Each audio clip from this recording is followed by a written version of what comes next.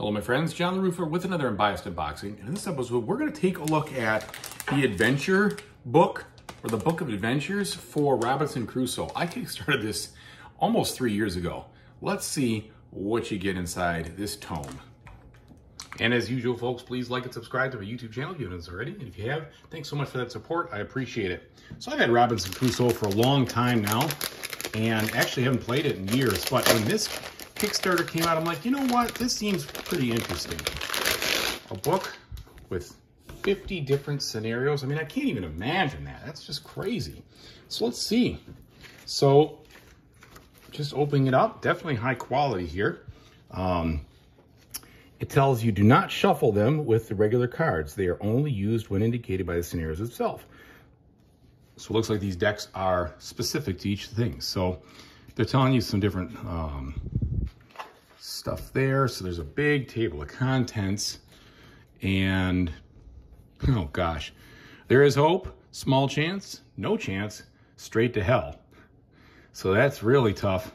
Um, so lots of different things here to kind of get you going to see what to do.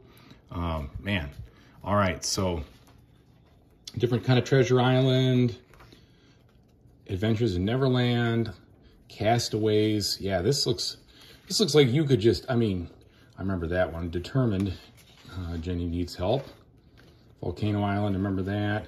So I don't know, I'm sure that some of these are ones where maybe they modified it a little bit, but okay, so that's interesting. So then you've got, okay, it looks like different difficulty levels for some of these scenarios here to make it easier. Yeah, Family Robinson.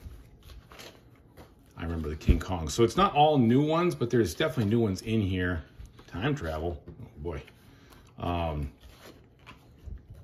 yeah, so it looks like you can you just can pick and choose a lot of your different scenario lengths and difficulties and all sorts of different things. But man, there is just so much, so much content.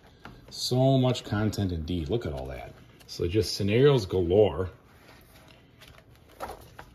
And then it looks like, you know, you really have some tough ones here at the end. Now, I don't know what this is. Okay, maybe a spot to just log your plays or things like that. So you have a lot of those in the back. So you kind of write it all down if you want. How you did, the journals. And then even some things you can, looks, looks like you can pull those out somehow and label stuff. Don't know exactly how that works. Glue it on, perhaps?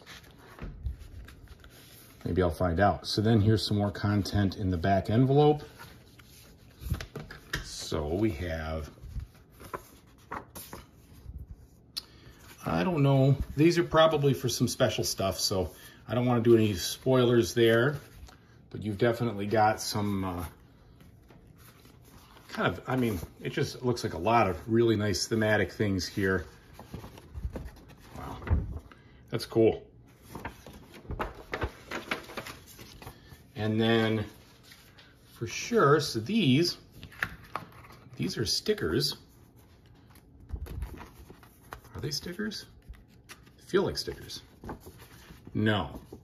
So I don't know what these are. So these are just, they're not stickers, but they're like um, new animals you can have. So you get the dog, but there's a cat, a parrot, and a horse. These are stickers for sure.